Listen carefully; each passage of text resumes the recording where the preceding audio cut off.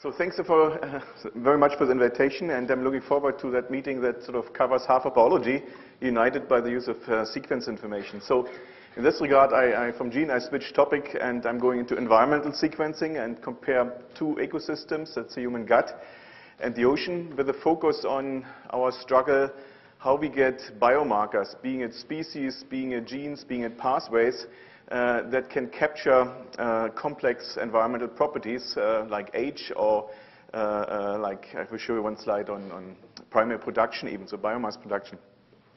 But before going into this, let me introduce a little the subject. Um, environmental sequencing, lots of people in the audience uh, uh, know what it's about. Uh, you see all these exponential growth curves. I can add one here, although it's dated already. Uh, uh, in terms of the only difference here is, is not a number of base pairs, it's a number of um, uh, novel open reading frames that come up here. And I think environmental sequencing is really shooting through the walls. We have by now, I think, more than 200 distinct million, 200 million distinct genes somewhere in the databases. It's an enormous amount of data, so it's lots of value for, for your money. Uh, compared to resequencing, for example, which is nevertheless also important, of course. And it covers all kinds of different ecosystems.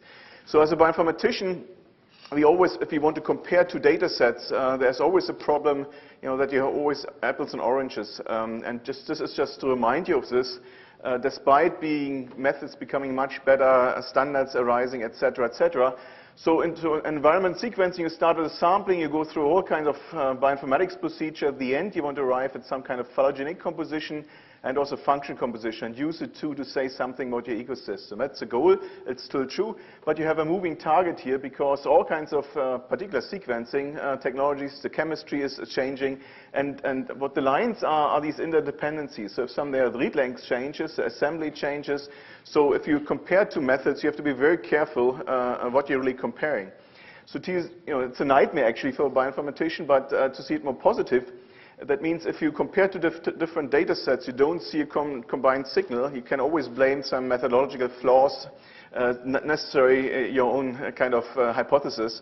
But if you do see a signal, this is highly uh, uh, significant. So this is our working assumption to get over the frustration to find with all kinds of technological, technological issues. And as, um, yeah, as we are here at near GG, JGI, so, so our first sort of reward was a collaboration with Eddy actually long time ago, comparing four very diverse communities. And what we figured pretty quickly uh, that the you know kind of the gene content of an sample is like a fingerprint for the environment. Obviously, this was just uh, uh, ocean water, soils, a very diverse environment, so it was you know, low-hanging fruits, but at least it was a conceptual uh, kind of uh, uh, starter to get more into this. By now, of course, you have to go much more into the details. Uh, you have lots of samples in very similar environment, and scratching signals out here is much harder. So there was lots of method developments on the way. Our workhorse at the moment is called Smash. This is a tool. It's not a web server. You can download it. You can basically pipe your own data through. Therefore, it's kind of a mini advertisement here. Works for us. It's not the most simplest tool, but it has lots of functionality. We have two flavors. One is for single cell analysis and was for metagenomics. Also what come, came a lot was this new kind of data, lots of kind of visualization tools had to be developed. So here show a few uh, um, particular I mean, of course, you have, you know, use Google Earth here. Uh, uh, um, uh, in the human body, in any kind of ecosystem, you have to uh, zoom in. You have to be able to, to address spatial and temporal resolution, which is just emerging. Uh, I would draw attention on two tools we have. It's called iPath.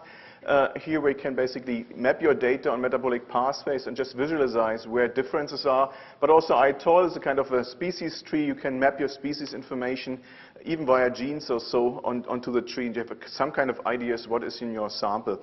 So those kind of things that took a lot, lo uh, long time.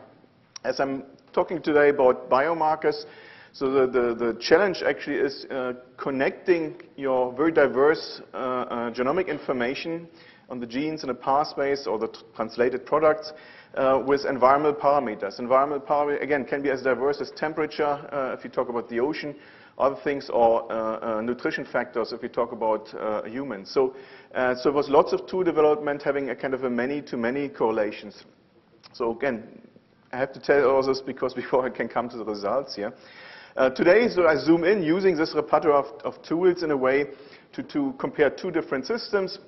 On the ocean uh, uh, and, the, and, the, and, the, and the human gut particular. In the ocean, motivators that we are sort of involved, and so I never was on a boat, but there's a boat touring around since 2009, collecting data. I come back to this. And uh, we had to prepare for the data that will come or about to come or coming already or so. So lots of investment there as well. Interestingly, on the ocean, the, the development started much earlier. In print, I think one could take uh, Craig Venter's Sargasso Sea samples here. On the human gut, it started later, but of course there are lots of applic medical application. There was lots of funding investment here, and things have evolved, in my opinion, a little faster on a gut, which is probably also much simpler ecosystem uh, uh, than, than, on a uh, um, on the ocean, TARA started end of 2009 here. This is just one out of many attempts where at least in the ocean also people lumped together to consortia as a European initiative of all the marine biology stations, at least to coordinate uh, their efforts. But of course that has to be taken uh, to worldwide uh, uh, uh, activity. In a, in a gut there was this International Human Microbiome Consortium that helped a lot to, to sort of unify a few of these things. Okay, so I mentioned this is about biomarkers. So what you can do using the tools is this is now data from, from AGOS, another of Craig Venter's public data. Uh, only a bit more than 30 sites, so very little, very little sampling things. The depth is not very great. You can criticize the data, but as I said before, if you see something positive, uh, it's usually good news. Uh, so this is about 30 sample points. What can make then, if you uh, assign your genes uh, from a metagenomic sample, you can collect them, and you can, this is this case, plot them onto metabolic pathways, but also other things.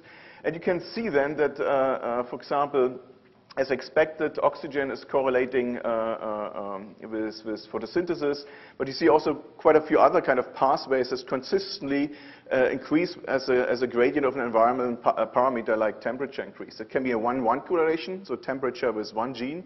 It can be a many-to-many -many correlation, several pathways uh, with several environmental parameters. Therefore, we had this CCA analysis. Then you do it a bit more globally, you can do this. In a way, what you see here, it's basically where uh, uh, you take all kinds of parameters collected against all your genes and pathways, and you, you just ask an unbiased question, uh, so what kind of parameters seem to be more important? this is kind of a PCA analysis. So along those axes, you see the climate factors, and here you see the nutrition factors. Uh, so that means that if you trust the data, it, it means that the climate factors seem to be more dramatic, impacting actually what the composition of your community is. Obviously, there are lots of caveats to this. Uh, uh, this is um, seasonally corrected, but of course you have uh, day-night rhythm. You have all kinds of things that are not in there. There are many more signals. It's just the, the tip of an iceberg. We start to see uh, uh, some uh, signals. To our price, we could also see rather complex environmental properties. I mentioned already one of them, primary production. So, and that is more than just gene content, uh, because uh, like in ecology, you can also uh, describe your gene repertoire uh, with terms like diversity or richness. And uh, uh, what you see for example, there's functional richness of these stereotype samples. so they differ according to the latitude, which is well known as an effect. So it's reassuring that you see signals that are sort of known. But also what we see that functional diversity correlates. You see how it this is not that strong, but it does correlate uh, with, with primary production. Obviously you, obviously, you don't need these things because those things are measured uh, from a satellite. And, you know, it's, it's expensive to shoot one satellite up, but if it's up there, you know, it can record many, many data. But this is just uh, proof of principle uh, that even complex property you can capture with a rather limited set uh, uh, of molecules. Um, just to show where we are, so we had big plans, obviously, for this Tara expedition because it started early uh, October 2009, so it's one and a half years on the road. What you see here is the road. is about uh, 90 sample points, almost 100 by now, uh, that have been collected. So what's different? I mean, there are many boats uh, uh, that go around. In terms of genomic data that we collect there, uh, it's basically several different filter sites with ambition to go from a virus fraction to even animals, uh, meaning fish larvae or, or very small uh, uh, other animals. And also eukaryotes, I mean lower eukaryote protists, etc. And also because you have them on one shot, try to correlate them, basically building species networks, you know, which virus with which fish larvae, etc., etc. Over many, many samples, not over 30 or so, but we collect about 300 here, we hope to see correlations by the co-occurrence of particular uh, uh, things in different size fractions. So also it's not on genomics, it's also transcriptomic data. We have also some special ideas how to deal with the, with the protists and, and other eukaryotes with, with large genomes, because it's also a cost issue, obviously, here. And uh, obviously, we collect a, a, laundry list of oceanographic data, physical-chemical data, location, temperature, salinity, etc., etc. So about 20 of those. But what's new about it is also the correlation with uh, data on morphology. And, uh, uh there's uh, quite a few microscopes on board for imaging. And uh, this actually what takes currently most of the time to correlate genomic information with, with things you see in a picture. So there are lots of pictures and movies on, on fantastically looking organisms, but who do you know, you know which kind of uh, uh, genes come from which of the many? So it's a, it's a, it's a big kind of challenge right now we are struggling with. So although I said the sampling has been done for 100 stations, only for three, three stations the data are in a, complete in a way that the bioinformatician can take over. So there's the sequencing, assembly, whatever, that take always time. Uh, uh, so that's the first start that we consider three stations out of the out of the many. But again, the data are frozen or conserved in other ways, and um, this is what we are up to. But it's nothing for tomorrow. It will take uh, uh, a little longer. And data integration uh, of, of, very different data is a challenge. So again, instead of getting biological answers, we're still struggling with the tools here. Uh, let's switch to the, an analogous system, the, the human gut. I mentioned already, uh, um, there's lots of funding uh, out, uh, particularly in the US, for this. there was a kickoff meeting for an international consortium trying to at least define the standards that we can exchange data. Still much more you have to do on this front, but at least there's a kind of an exchange of information on, on, on different parts here, uh, regular change. So what kind of questions can you ask? I mean, the first thing is, I mean, it's known that everybody of us carries about, you know, one half to two and a half kilograms of bacteria in our gut. So, so how does it translate into uh, uh, diversity, species, etc.? And how many genes do we have compared to our 21,000 or so uh, human genes? So it was uh, done last year cooperation of a European consortium called MetaHit and also uh, Beijing, BGI here, uh, not Beijing, BGI uh, in, in Shenzhen. And the first study was based on 600 gigabases from 124 people, actually uh, Danish and Spanish individuals. And just to see using the analysis pipelines what you can get out of these things. To make a long answer short, what we found is about 3.3 million microbial genes we expect there, whereby it's very fishy what they call a microbial genes. You have to have kind of a operational definition. Very simplistically, this was applied 95% identity. Uh, um, you know, you can argue about this, but uh, uh, so based on other kind of estimates, I think Nuncidia, they, they proposed that 95% for species is a good thing. I claim it's very superficial, but it's, you know, given the complexity, it's a very good starter. So the things might change, but I'm not sure that dramatically. And the reason why we think, you can argue, if we would sequence 200 people, you would get twice as many genes, et cetera, et cetera. You see these kind of rarefaction curves where basically uh, on the known genes that are well annotated, on genes that you know at least, but they're hypothetical, and then genes that just come out of the assembly uh, that haven't been seen by databases. Uh, so the, the, this is a number of individuals. There's a kind of simulation here. Uh, if you would have only half of the data, et cetera, et cetera, uh, if it builds up. The known genes here are pretty much saturating already. And uh, with um, uh, unknown genes, it's going up, but it's not doubling if you add a few more people. Uh, on the other end, you have to add 6 billion more, so it's quite a bit of more, people on Earth um, in different stages, ages, etc., etc. But the novel genes are the fast evolving. So intuitively, it makes sense, but the message here is just, although the, the numbers will go up, it won't go up too much. And even if it does go up, uh, then you have to ask the question, you know, is this only your intrinsic genes you have, or is this a bystander that come with your food? If you have fish, eaten fish yesterday, you got the salmonella with it, etc., but it's not intrinsically. So, so uh, we made some estimates here as well. I'll come to that uh, uh, in a moment. Next question to ask is really, uh, you know, how different are our guts, uh, and is it stratified? You know, everybody would ha suspected to have different bacteria, um, uh, in particular as we eat different things each day. but is this sort of, are there signals in, or is everybody very different? So this is a study on very few data, and it was a problem at that time, uh, and we struggled a long time with this. There's only 40 samples from different groups, from six different countries and three continents. And uh, um, a question here is, I mean, of course, what you can do, of course, you can sort of assign the data. and There's a, one of these typical rank abundant curves uh, at the genus level, because we cannot be more sensitive overall. This is Bacteroides, uh, which in the average has 10%, or the most prominent uh, genus in our gut. These are the kind of genes you have, histidine kinase uh, uh, uh, as a signaling molecule, which seems to be the most prominent uh, protein here, but with a completely different kind of axis here or, labeling. And then this rather low, long list of probably one half thousand different things that come along here, and grouped by color and different phyla, et cetera, et cetera. So we have very little human contamination. Contamination is good. We, we don't see many other eukaryotes in these stool samples, neither archaea and viruses. We are a little more uncertain uh, but certainly it's not dominating uh, uh, the scene. So, what you can do now, you just let the, uh, uh, you know, you just cluster the thing and see whether all the parameters recorded, so host property like age, gender, nationality, or ethnicity, uh, um, body mass index. We had a couple of metadata, so host properties, and whether anything of those is driving. Age, for example, it's known that infants are very different, um, but and, and, elderly are supposed to be different in, in, their gut microbiota, but we had a whole range of things here. And can we see what's, uh, you know, what's driving uh, or where are these parameters are? Again, back to the bystanders. We also had to make sure, so when we, we, we did the habitat taxonomization, uh, uh, taxonomy of, of the species, so we sort of said this is a known species with a habitat gut. This usually only comes in soil, and this is only associated with some cow, etc. So those habitats we try to separate in the ones we would expect in a gut and where we have seen something which is not expected there.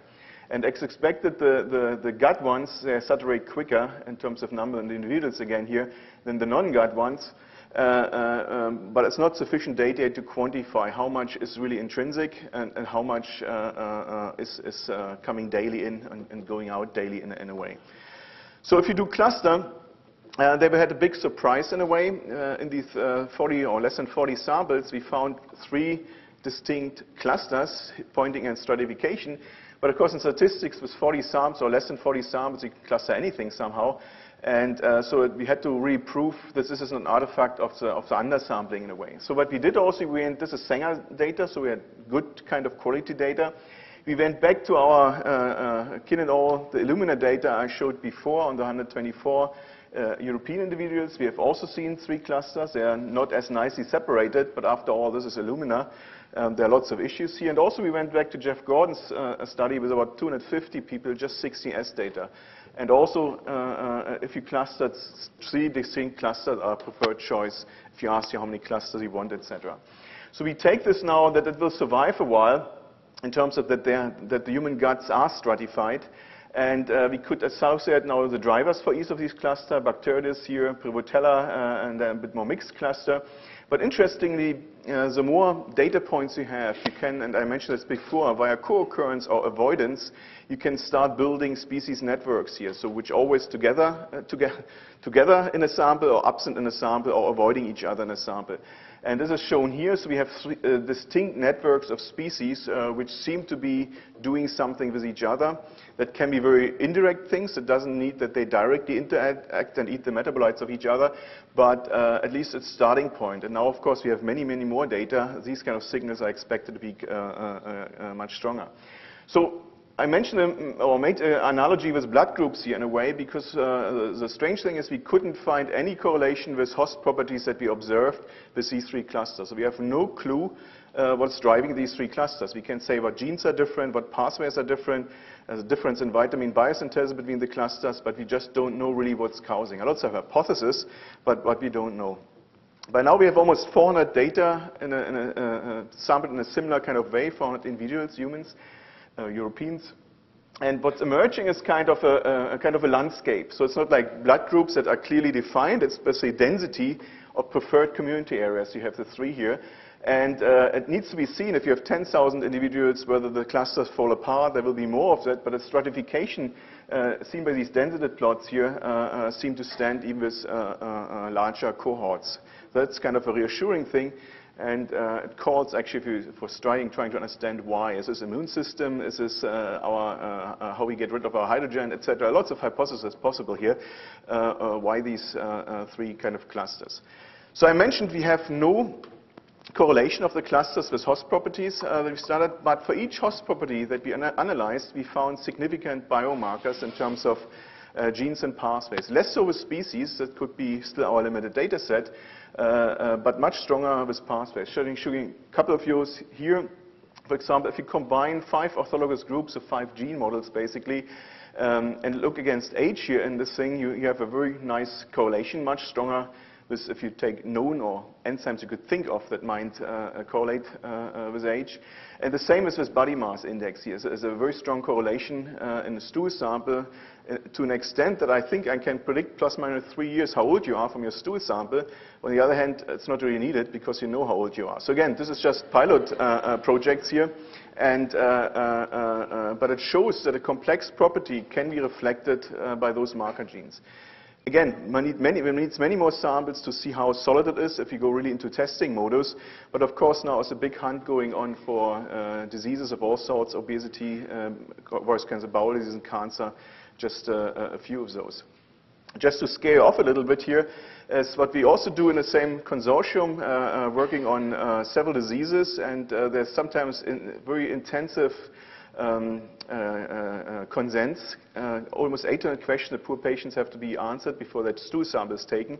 It might even have an impact on, on a stool sample if you think about it. it's pretty stressful to go through. And the people are asked really, you know, how much pizza did you eat last week, etc., and what is your preferred food and all kinds of things. And there are tools that translate that kind of pizza of whatever, uh, 12 inch or something, into uh, uh, um, a, a, combined set of nutrients, about 150. Uh, so people did this before in nutrition uh, sciences, uh, that you have to normalize the pizza with the fish you have eaten, etc. So and then you have now these 150 or so parameters uh, um, of nutrition and want to correlate it with about 150 metagenomes. This is our cohort set for that particular question. And uh, again, this is what I'm telling you where we're struggling right now is uh, just to make uh, this a bit more comprehensible. There's a lot of redundancy in the, in the data itself, in the, in, in the metadata, and these nutrient data, uh, uh, and things like abundancy of food. Uh, people not always say the right thing. Um, there are all kinds of issues that we have to deal with this. But I, I have some hope, but I can't show you results yet, um, that we come to at least some relevant uh, correlation out of this jungle of environmental uh, uh, properties in a way. Um, how am I doing with time here? Still a couple of minutes, I guess. So just uh, more from a tool perspective, um, what I was saying, the, the, the, the, sample sizes have to increase, but also this temporal and spatial resolution increase. Take again the example of a gut. So we take stool samples and claim that it's representative of what's going on in us, which is obviously a, a very wild proxy. Uh, we don't know. We do know that they're different uh, in different intestinal parts.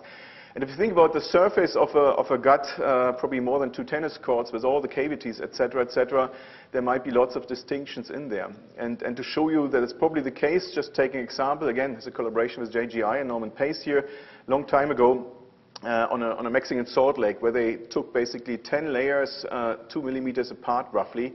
And, and, the question was, how different are communities in these distinct layers? Uh, so basically, we, we, zoom into two centimeters.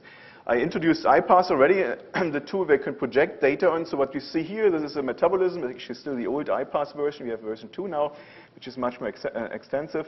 And uh, by color intensity, you can say a certain enzyme is more abundant. So if you zoom through this kind of thing, so all these layers, uh, these are the, uh, the 10 layers we have from the surface downwards in, into 2 centimeters here. And what you see flipping here, different intensities, meaning more of a certain pathway uh, uh, or an enzyme might push this kind of signal up. So what you see in the upper part is photosynthesis, as you would expect, because there's light. And uh, reassuring, if you go down, this thing disappears here. So there's no enzymes, uh, you know, two centimeters in, in, the ground already.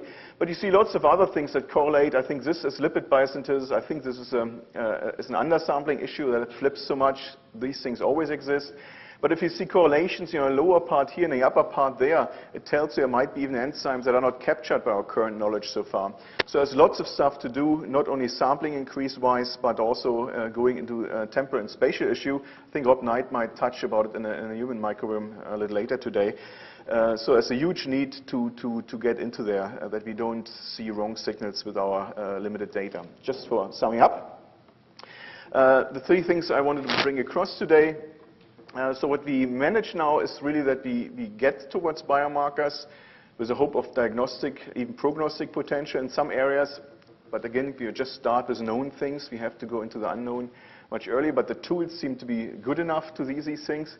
And uh, um, but also the correlating to parameter changes, which is also um, uh, is an important thing in terms of uh, uh, extrapolating or interpreting the, the community as such. We are not yet at the nucleotide level. There's more to see, strain differences, etc., etc. This is beyond our resolution at the moment, given the data we have. Uh, but it's very encouraging, at least for us, uh, that, that we can go towards these biomarker uh, developments. So I mentioned in the human population was a kind of a, a finding that was surprising to us that you have a stratification that might be also in other habitats, uh, that is not just a, a, smear of different communities, but uh, uh densities of certain community populations which are favorable to each other. Um, and uh, uh, function, phylogenetic and composition mostly agree on the samples we have looked at, but only we looked at ocean and we looked at gut. So we can always argue there might be a virus carrying an important function that spreads in a community so that these, uh, there are skews coming, and I'm sure it exists, but we're not seeing it too much. Some of it we see actually, I don't go into this. And uh, uh, can we reiterate that the current study is just the tip of the iceberg. We have to go much more detailed in this to make more uh, uh realistic statements about uh, community behavior. But I also believe the species-species networks that are emerging uh, they give a, a, a, lot of ideas also how things can happen. And I was always talking about uh, bacteria versus bacteria. Uh, but of course, bacteria versus host or other things uh, is also an issue here.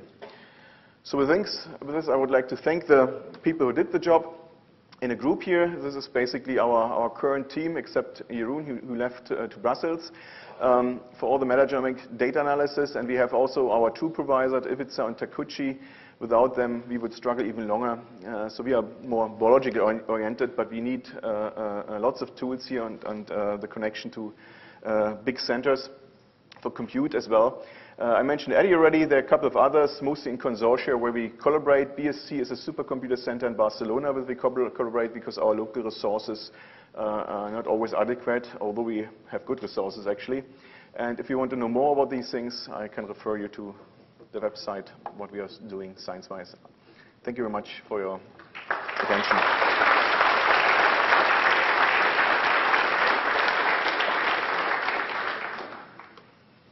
Questions?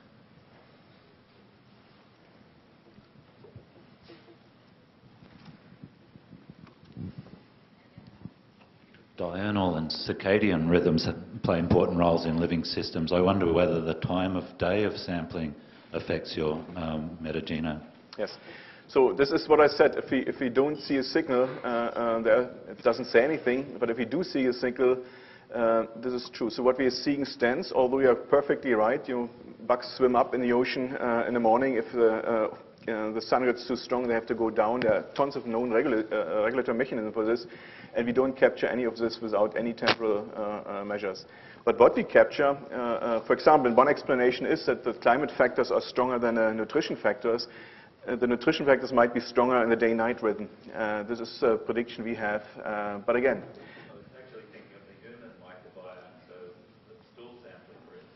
The tail, day yes, is important, but I think it's more important what you have eaten yesterday and, and many of these things, what we see, uh, uh, you know, or two days ago. It, it takes usually two days uh, for a passage. Uh, this has a huge impact. Time of the day, there's rhythm, we know. Uh, we have no data. I think there will be much more be carved out. But again, it doesn't say that what we have is wrong. So we see a strong signal, and then if you zoom in into spatial and temporal resolution, you see other signals and learn much more. And, and this is what I'm claiming. You need to do more in order to capture these things because they are relevant. And so your kind of IPath gene pathway analysis is, is sort of central to all of your analyses. In a way. Mm -hmm. Would it be at any help to have whole genomes versus you know, the numbers of genes. Good point. If you assume that uh, the genes have a fixed kind of number, from a genomic transcription is a different thing now, but from a genomic perspective, so if you see five genes of one genome, you would assume all the others that are in, so it will be very value additional information. You can say, you know, what, how sensitive you are, what you lose, what you don't see, how the biases are. From that perspective, for sure. I don't see, uh, I think there's a, there's a big mess. So it's a question of matter. If you have a deep enough sample, even some of it depends on environment, obviously. In soil, it's a different issue. But if you have uh, in the gut, we expect in the order, I, I think we have more, but people expect 500 to 1,500. If you have deep enough sample, those genomes might somehow even fall out uh, uh, uh, at some stage if you, if you sequence deep enough. So uh, it depends, of course, how, how low abundant they are. So, but uh, uh, the advantage here in any case is the mapping. So whatever we do, how to recognize a gene in a sample, uh, the easiest way is you take the raw thing, if the read length is sufficient, you know, we are at 100 right now or whatever, uh, uh, if you take Illumina, if you can map it against something which is clearly annotated, and here the power comes in. So I wouldn't say it's not important, um, maybe not for the interpretation, but from a, from a methodological aspect, you are much safer. And I think it's an advantage. The human gut, uh, they sequence all these reference genomes. Uh, uh, it's a huge advantage in terms of uh, um, seeing how many reads you can map to something known already. So it's useful for annotating your gene, as far as linking genes, you know, adding anything. I'm not sure anything, but yes, uh, the, yes, the strong part comes in the early bits, I would say. Can you say something about the uh, genetic determination of, of enterotypes from the from host? Uh, we don't have data yet. I mean, it's of course a thing uh, uh, I think many people look forward. Uh, uh, they take basically biopsies and watch both, you know, the human side and the microbial side. It's an ongoing hunt, particularly in the medical area. Uh, we don't have any data on this so far. Um, my bet would be it's more the nutrition, but also I think the immune response plays a big role. It's pretty unknown, you know, how the good guys are tolerated and the, the, the bad guys not. So it might be some imprinting here, which goes again, uh, uh, might go back to, to uh, genetic factors. No clue, but it's a very interesting one. Have, you been able to replicate the relatively small number of enterotypes in, in a second or third population?